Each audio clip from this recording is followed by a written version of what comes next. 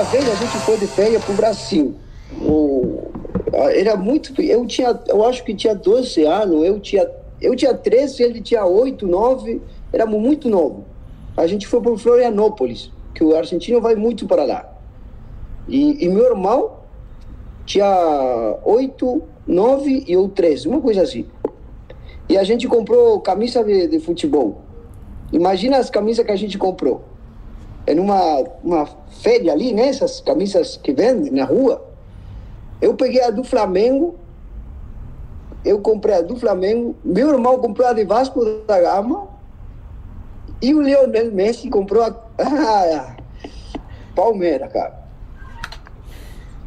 E não, não sei se tem foto, cara, mas uma, uma situação curiosa, porque eu joguei no Flamengo um tempo, meu irmão também jogou no Vasco, imagina se o Messi jogar no Palmeiras, cara.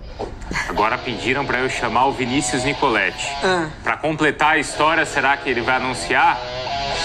Porque o Max comprou a camisa do Flamengo e jogou no Flamengo.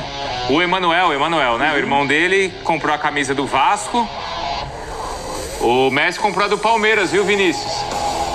É, se o Messi vem pro Palmeiras, aí pronto, a dor de cotovelo dos antes povo não vai aguentar. O povo não vai aguentar. Mas logo mais, amanhã tem o jogo contra o Corinthians, o derby tá aí chegando e vamos ver quem vai jogar, quem não vai jogar. Vamos ver o que a galera da ESPN Brasil tem a falar sobre esse jogo, tudo sobre o nosso Verdão. Então, sem mais enrolações, bora para o vídeo.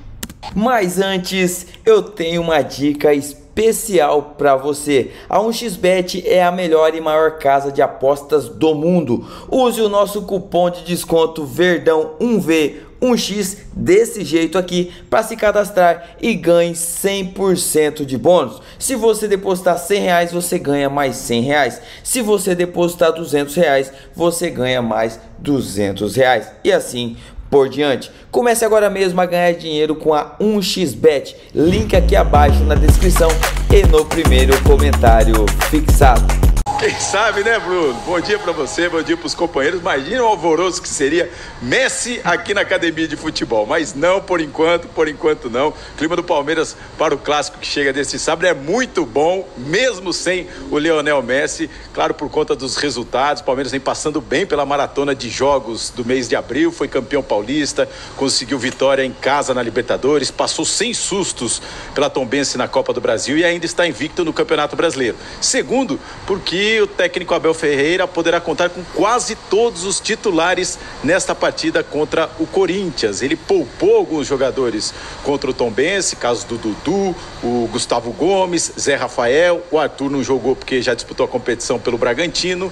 E ele tem também tem o retorno do Rafael Veiga, que treinou normalmente essa semana, vai treinar também nesta sexta-feira à tarde e fica à disposição para voltar à equipe. Ele que não joga desde a final do Campeonato Paulista contra o Água Santa no início do mês. O Rony também voltou, jogou alguns minutos contra o Tombense e deve ser o titular, o ataque titular do Palmeiras para o clássico, para o derby do final de semana. A única dúvida no time está na lateral direita, com o Marcos Rocha, que tomou uma pancada é, nessa partida, uma pancada na coxa esquerda, nessa partida contra o Tombense. Fica a dúvida aí se ele não puder jogar. Entra o Mike, que também está voltando à equipe, ou o Garcia. Essa é a única dúvida no Palmeiras para o clássico contra o Corinthians. Daqui a pouco, então, Bruno, a gente volta para falar mais desse Palmeiras, destrinchar o provável time para preparação tem ainda um excelente retrospecto, né, sob o comando do técnico Abel Ferreira. Ele só perdeu um clássico e venceu cinco, 68% de aproveitamento. É um excelente aproveitamento. Em clássicos, o Palmeiras com Abel Ferreira tem mais de 70% de aproveitamento. Então chega muito bem. Daqui a pouco a gente passa o provável time do Palmeiras ainda sem Lionel Messi, Bruno. É, o, foi bom que no começo o Vinícius falou assim, por enquanto não anunciou, né?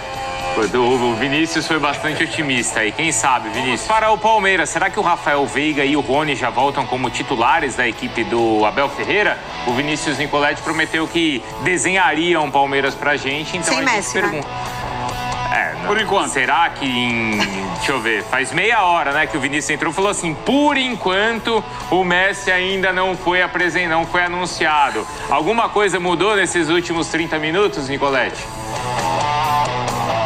Tem que ver se o Rony, camisa 10 do Palmeiras, vai ceder a 10 se o Messi chegar por aqui, né? Tem que tem essa discussão, né? O Rony é o dono da camisa 10 e agrada muito. Rony Bike. Tem essa situação também. Mas é o seguinte, Bruno.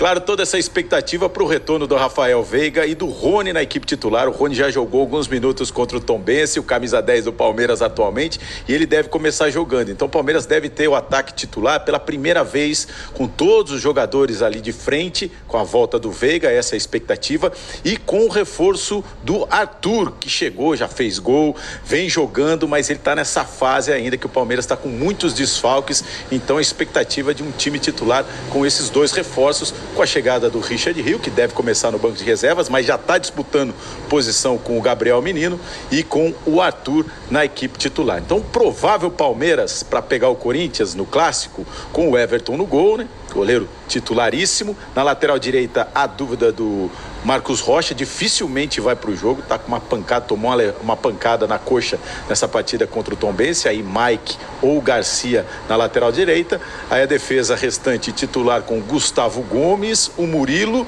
E uma dúvida na lateral esquerda, o Vanderlan que vem bem ou o Piquerez retomando a posição de titular. Aí o meio-campo com o Zé Rafael, Gabriel Menino ou Richard Rios. E a volta do Rafael Veiga ali fazendo essa ligação de meio-campo e ataque. E lá na frente, de um lado Arthur, do outro Dudu e o Rony voltando no comando de ataque. O Palmeiras testou e, e, até recuperou os jogadores de frente, né? O Navarro fez gol, Flaco Lopes ganhando confiança, o Hendrick também voltou a fazer gols nesse mês de abril, mas o Rony é o dono da posição, jogando ali de centroavante, então toda essa expectativa para esse ataque titular do Palmeiras. O Palmeiras não perde no Allianz Parque há 23 jogos, né? Uma longa invencibilidade de nove meses. A última vez foi em junho do ano passado. Tem todo esse histórico de bons resultados em clássicos com o técnico Abel Ferreira, 63% de aproveitamento. Em clássicos contra o Corinthians, são cinco vitórias e apenas uma derrota em nove jogos sob o comando do Abel Ferreira. E a última derrota do Palmeiras para o Corinthians no Allianz Parque foi em 2019, ainda com o Felipão no comando de lá para cá. Seis clássicos, seis derbys no Allianz Parque, com três vitórias do Palmeiras e três empates. Os números, Bruno, todos a favor do Palmeiras. Vamos ver como é que vai ser, né? Porque esses números também não entram em campo no clássico. E o Palmeiras vai, por enquanto, com camisa 10, o Rony na frente. Bruno. Então, mas eu tô vendo aqui, ó, a 10 é do Rony. Mas o Messi joga com a 30. A 30 é do Jailson. Justamente Jailson que é tão questionado aí por alguns... Negociando... no Paris Saint-Germain, né? Porque a 10 é do Neymar. Na então, seleção ele é 10. É, e verdade. sempre foi 10 do Barcelona. É, a gente está brincando com essa história aqui para quem chegou agora, porque a gente mostrou uma entrevista do Max Biancucci contando que quando eles eram pequenos, um comprou a camisa do Flamengo, outro do Vasco, o Messi comprou a do Palmeiras e aí. É, o retrospecto do Palmeiras jogando em casa é muito bom mesmo. Mas como não entra em campo, né? O que foi feito lá atrás, foi feito lá atrás. Mas o Palmeiras jogando em casa é muito forte, vai estar tá praticamente com a força total, né? Colocou os reservas para jogar contra o Tombense ali, né? Um time meio mesclado e então os jogadores estão descansados para esse clássico e time que quer ser campeão tem que ganhar clássico e principalmente ganhar jogo em casa, né? Então é isso. Espero que dê tudo certo amanhã. Vamos estar na torcida. Deixe o seu comentário aqui embaixo. Se você é palmeirense, se inscreve no canal, deixa o seu like, aciona as notificações para você não perder nenhum vídeo, porque eu tô postando vídeo todos os dias dias aqui sobre o nosso Verdão, sobre o nosso time do coração. Créditos para a ESPN Brasil vai estar aqui na descrição também. Tamo junto e até a próxima. Tchau!